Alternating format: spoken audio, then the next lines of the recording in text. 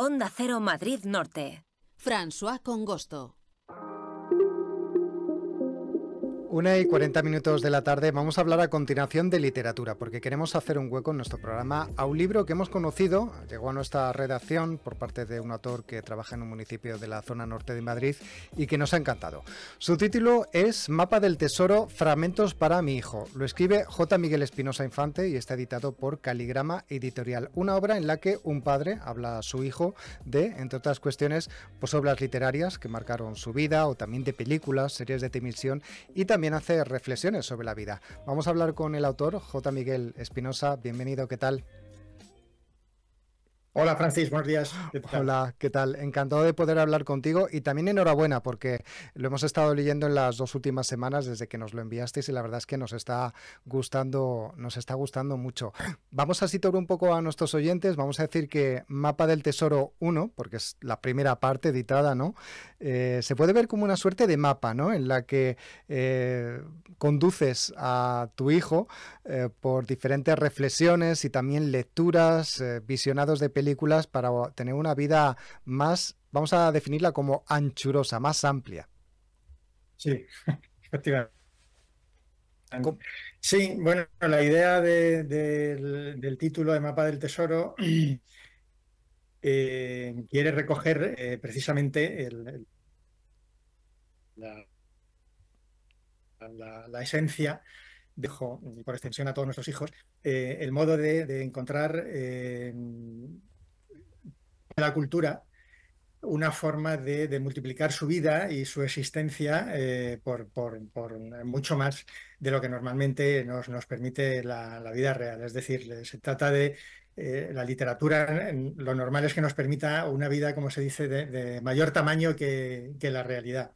Entonces el mapa del tesoro se trata de un mapa porque todo eso, lecturas, eh, películas, lugares visitados, quieren ser como la cartografía que le va a permitir conducirse eh, a través de, pues bueno, el, océano de, la vida eh, en, una dirección eh, que le permita llegar a la isla donde está el cofre de las monedas de oro, que tiene que acabar descubriendo que en realidad es precisamente los conocimientos que haya ido adquiriendo.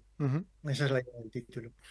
Bueno, y en ese paseo por la literatura, eh, digamos que en esta área, pues nos encontramos con alusiones a, por ejemplo, La Isla del Tesoro, Las Mil y Una Noches, Robin Hood. Bueno, es que eh, si nos ponemos a hablar de cuántas obras literarias aparecen y autores, escritores y escritoras aparecen, es que nos daría para horas y horas. Claro, es que el libro está enfocado como una carta de amor, de amor por, por, por un hijo y amor por la cultura. Entonces, em, ¿por qué? Porque la idea es eh, enseñar a nuestros hijos a, apreciar el marco eh, cultural en el, que en el que están creciendo. Entonces, ¿cuál es la razón? Pues porque a ellos se les está transmitiendo, o en el ambiente en el que estamos ahora criándolos, eh, se les está transmitiendo que lo importante es la publicidad, las redes sociales, lo importante es la televisión, la música, la música pop, y a los padres mm, nos cabe la responsabilidad de, enseñar a nuestros hijos que todo eso, eh, la, música que les gusta, eh, las sagas cinematográficas que les encandilan desde mm, eh, la Guerra de las Galaxias hasta El Señor de los Anillos, pasando por Harry Potter, todo, y los videojuegos incluso, tenemos que enseñarles que eso es tributario de, de, toda una herencia cultural que antecede. Entonces, este es un libro para padres que quieren eh, que, sus, que, sus, hijos sepan eh, que Pocahontas o Aladino o, Merlín o Robin Hood no son personajes de, o no son solo personajes de Walt Disney, o padres que quieren que sepan que, quieren que sus hijos sepan eh, que Frankenstein, antes que las películas de zombies estuvo Frankenstein, y no solo el de las películas, sino el del que también, sino el de la novela de Mariselli y antes estuvo la leyenda medieval del golem, y antes estuvo el mito griego de, de Pigmalión, y queremos que sepan mm, que Troya no es la película de Brad Pitt, incluso que todas las criaturas fantásticas eh, que, ellos aprenden a conocer en, los libros son las películas de Harry Potter, el, hipogrifo, el, basilisco, el fénix, o, esos elfos y esos trolls que aparecen en El Señor de los Anillos, deberían saber que llevan en nuestra imaginación, poblando la imaginación del ser humano desde hace miles de años. Igual que, que, el Jack Sparrow de los Piratas del Caribe, tienen que saber que es el protagonista de una película, pero efectivamente en la realidad eh, los piratas fueron el terror de los mares durante décadas en, la historia. Esa es la idea del libro. Bueno, vamos a pedir perdón por unos problemas que tenemos de conexión. Por eso, tiene que resultar así, así de enciclopédico. Sí, decíamos que vamos a pedir perdón a nuestros oyentes porque la conexión no es muy buena de, Internet y se está cortando en algunos momentos, aunque le estamos entendiendo cuál es el, mensaje que quiere transmitir. Me gustaría preguntarle eh, por el tema de las reflexiones, porque además de hablarnos de, películas, de series, de videojuegos, eh, mm, películas, también, por ejemplo, encontramos continuas alusiones a pensamientos, a reflexiones que han hecho otras personas muy conocidas, filósofos, escritores, lo cual también le da, eh, pues digamos, un interés. Lo que no me imagino es cómo ha sido recopilar todo este tipo de reflexiones, eh, aludir a las obras, coger la frase, porque además este es un libro que, es, bastante grande, ¿no? Y, debe, haber sido una obra de, de mucho tiempo, ¿no? Sacarlo adelante. Sí, a ver, es que en un libro que pretende transmitir una herencia cultural eh, que quiere ser una invitación a la lectura, a los libros con mayúsculas, pues no, no cabía otra forma de hacerlo realmente que, mediante citas. Es decir, si se quiere transmitir lo mejor que, ha logrado el ser humano en el pensamiento, en las artes eh, o las letras, lo mejor es recurrir a, lo que durante milenios de cultura se nos ha transmitido. Es decir, eh, todo está prácticamente dicho. Eh, se, ha dicho a menudo que todo, Montaigne decía que no hacemos sino glosarnos los unos a los otros y, los estructuralistas ya decían que somos un, tejido de voces, porque en definitiva todos escribimos sobre lo que han escrito antes que nosotros. Entonces, eh, a mí me parecía mejor utilizar directamente a los autores eh, que pasarlos por el tamiz de la que fuera mi manera de redactar o mi manera de... porque quería poner en contacto a los lectores del libro precisamente con las voces de, los autores que han eh, constituido los hitos de nuestra cultura a lo largo de todo, de todo este tiempo. Eh, de ahí que el libro sea un mosaico de citas. Entonces, la manera de ensamblarlas, pues como lleva uno leyendo toda su vida eh, y con este libro llevo casi de 20 años, mm, no es la edad de mi hijo, pero mi hijo ya tiene 25, pero empecé a escribirlo enseguida.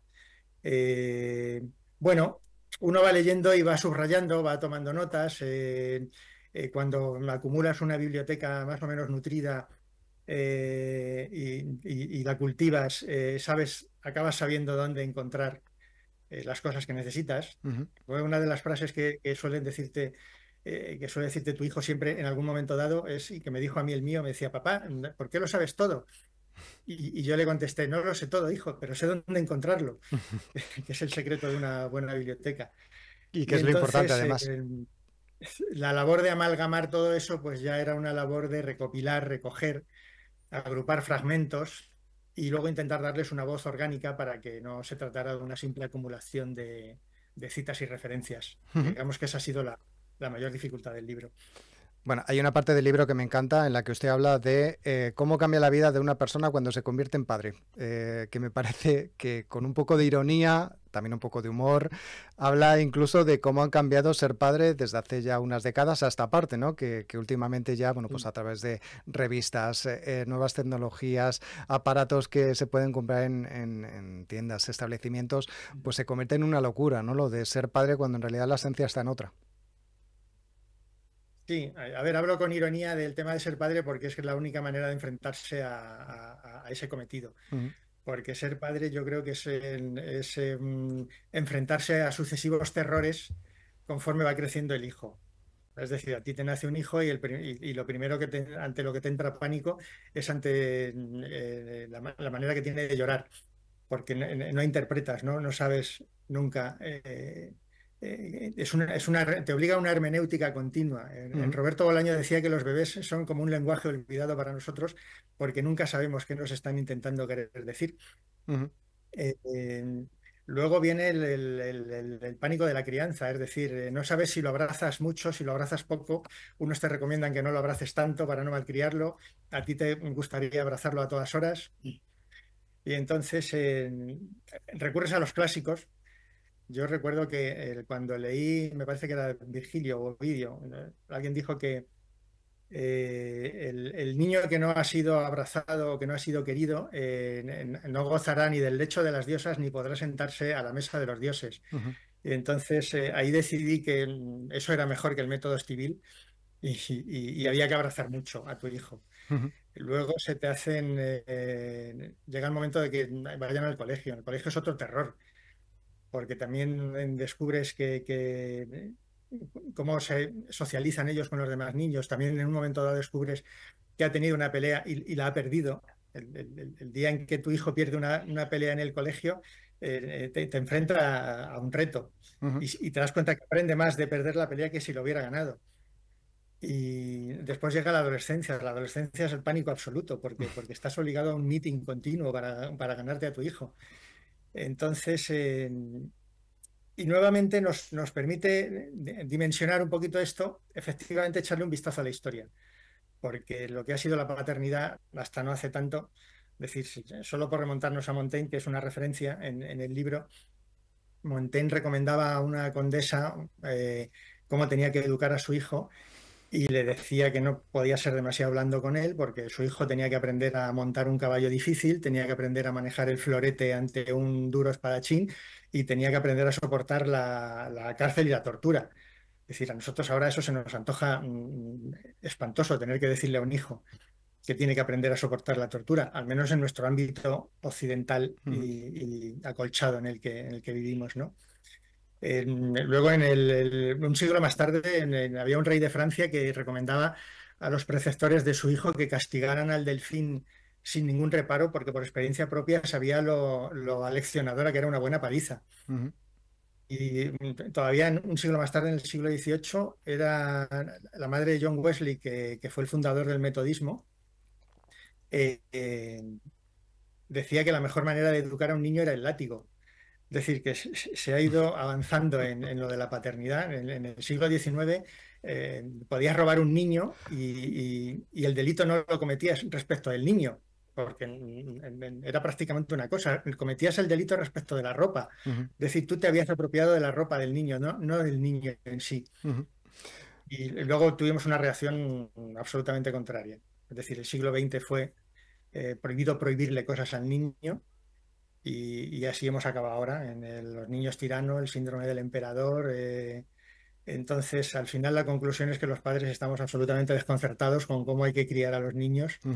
y, todo esto son, todo lo que hacemos son experimentos porque uno piensa que los niños vienen sin manual de instrucciones, pero luego resulta que no hay más sobre lo que se haya escrito más que sobre la educación de los niños. Así que uno va con el método prueba-error. Bueno, pues eh, eh, sirva este libro como, aunque lo de la paternidad sea un momento complicado, ¿no? Lleno de peligros y miedos, también tiene sus momentos interesantes, como por ejemplo, pues poder enseñarle a disfrutar de, películas, ¿no? De, obras que posiblemente pues también hagan al adulto del, futuro. Eh, tenemos que darle enhorabuena, como hemos dicho, a José Miguel, a, perdón, a J. Miguel Espinosa Infante, que es el autor de Mapa del Tesoro 1. Imagino que por el número 1 es que ya está preparando o tienen vistas hacer una segunda parte?